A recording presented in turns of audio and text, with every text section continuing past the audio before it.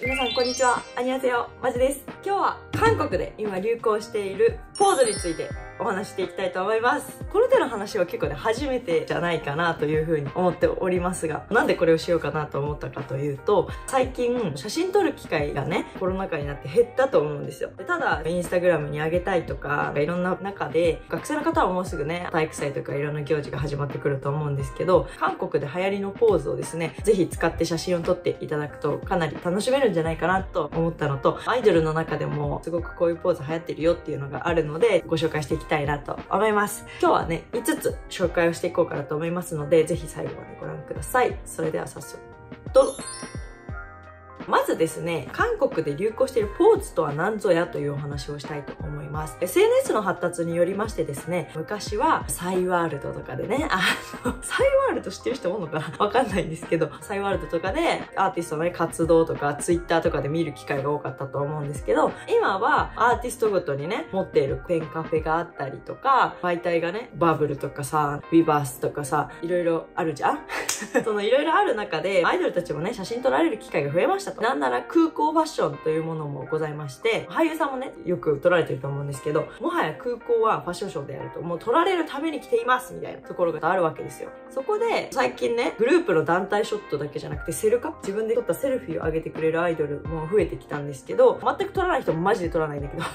なんだけど、まあ、そういうアイドルちゃんも増えてきましたと。増えてきた中で、なんとですね、IVE のレイちゃんって皆さんご存知ですか？日本人メンバーの子なんですけど、IVE っていうスターシップップエンターテインメントから出たというか、生まれたからデビューしたですね、アイドルがいまして、スターシップといえばシスターとか、そうそうたる面々がいらっしゃった事務所になるんですけど、その IVE っていうね、今もう韓国でも大人気、日本でもかなり人気を博しているアイドルちゃんの中の一人、日本人メンバーのレイちゃんがですね、ポーズ製造機と呼ばれております。今韓国でかなりですね、彼女がいろんなポーズを流行らせているぞっていうところがあるんですけど、まず発端となったものが、皆さんね、よくプリクラとかで見るのがこれ一つ目にギャルピースと呼ばれるものでございます。ギャルピースというものはですね、まあ写真いくつか出てると思うんですけど、ピースを下にして、手伸ばして、下向いて目つぶるみたいなやつですね。もうこういうやつですね。こういうのはよくギャルたちがやってるのを TikTok とかインスタとかで見るんじゃないかなと思います。ギャルピースはですね、多分ギャルの概念がちょっと違うと思うんですけど、一昔前のルーズソックックスにめちゃめちゃ短いスカートにヤマンバみたいなギャルっていうよりかはもうちょっと綺麗めギャルをイメージしていただいた方がイメージはつきやすいかなと思います。それとこれとはちょっとね、種類が違う気がするので、そこは混同しないようにしてください。ギャルピースでね、K-POP を沸かせたわけですよ。エスパとか、バラエティとかももう本当にそうで、もういろんなところでもうギャルピースがね、使われるようになったわけです。もうこうやってね。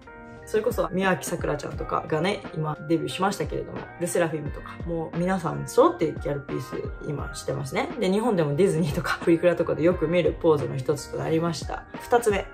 二つ目は、ヤッピーポーズです。これもですね、レイちゃんが言ってたんですけど、ヤッピーポーズはほぼチョリスですね。私世代の方はヘキサゴン見てた方多いと思うんですけど、木下ゆきなさんがチョリスってやってたじゃないですか。ほぼあれ。顔の横に置いて、ヤッピーってするポーズなんですけど、これもよく셀카 で彼女たちがやっておりました。可愛いよね。ピースだけでバリエーションが2つ増えておりますので、ぜひ真似してみてください。そしてですね、3つ目。3つ目は、찹쌀 ポーズです。찹쌀 っていうのは、もち米のことですね。もち米ポーズと呼ばれておりまして、もちっていうのはここね、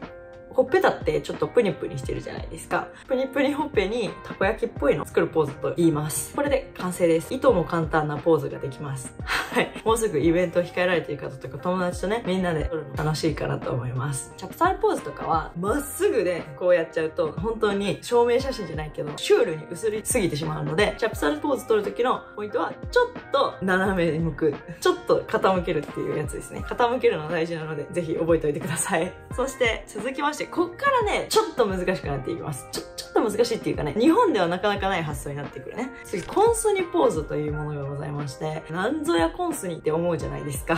韓国のアニメのキャラクターでコンスニっていうのがいるんですよ。大人気のアニメなんですけど、コンスニのように顔の横にグーを作るっていうのがコンスニポーズになります。これは立ってやるのは結構難しいと思うので、机の上でね、やったりとかする機会があれば挑戦してみても良きなのではないかなと思います。プリクラとか、まあプリクラではまあまあまあしゃがめばいけるか。いけるので、まあ、ぜひお友達だったり、いろんな場面で挑戦してみてください。そして最後、5つ目。5つ目は、ルーピーポーズです。皆さん、ルーピー知ってます？韓国好きな方だったらよく見る、ポロロっているじゃないですか。大人気国民アニメですね。ポロロは、子供たちの大統領って言われるほど、マジで人気なんです。お菓子もポロロ、番組もポロロみたいな、もうどこ行ってもポロロを見ます。日本でいうところの、一緒とは言えないけど、いないいないばあのワンワンみたいな感じ